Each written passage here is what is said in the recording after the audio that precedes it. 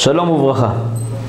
היום רציתי לדבר על דבר חשוב מאוד, והוא עניין צליית הכבד.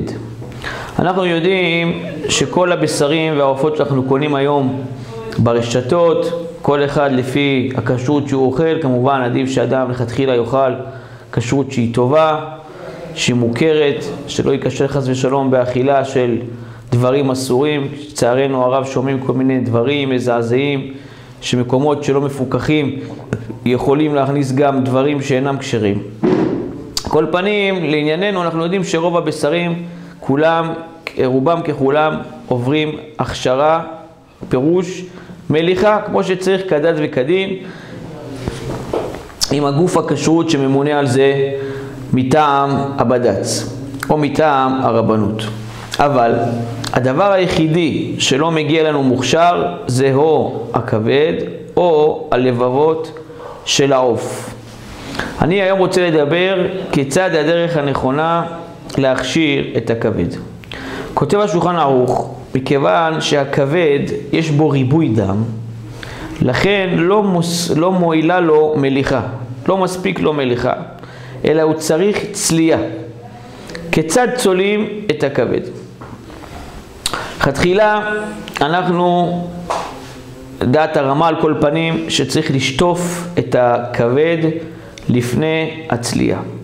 לאחר מכן כותב השולחן ערוך שצריך לחתוך את הכבד, בין אם זה כבד עוף, בין אם זה כבד בהמה, לעשות לו חיתוכים, ושהחיתוכים יהיו כלפי מטה בכיוון של הרשת הצלייה. היכן אפשר לצלות את הכבד? למעשה אפשר לצלות את הכבד על מנגל, שזה כולנו רגילים, וצריך להיזהר שלא יהיה חתיכה על גבי חברתה, אלא אחת ליד חברתה.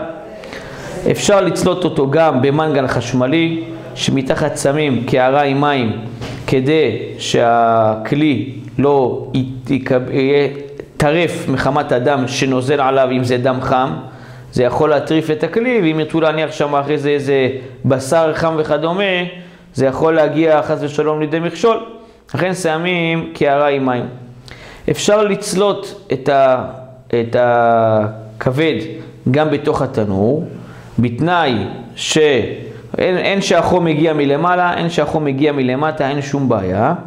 רק צריך לשים את זה על מקום מחורר כדי שיהיה לדם להיכל לנזול. זאת אומרת, בדרך כלל זה אולי יותר מצוי בתנור, בחלק העליון יש את הגריל, אז שם אם אדם ישים את הכבד על גבי רשת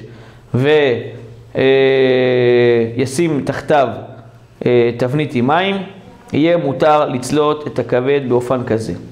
גם אדם שטעה ושכח לחתוך לפני הצלייה כבד עוף, בדיעבד הדבר לא נאסר, כיוון שהזבחי צדק, רבו של הבן איש חי, כותב בספחו זבחי צדק, שראינו היום שלא נוהגים בכבד עוף כיוון שהוא קטן והוא גם ככה חתוך כבר מהמרה שתפוסה בו, למעשה הוא כותב שמעיקר הדין זה מספיק, אבל כמובן שדעת המחמירים לעשות חיתוך שתי או ערב, לעשות חיתוך בכבד, ויש גם נוהגים לפזר מעט מלח קודם הצלייה.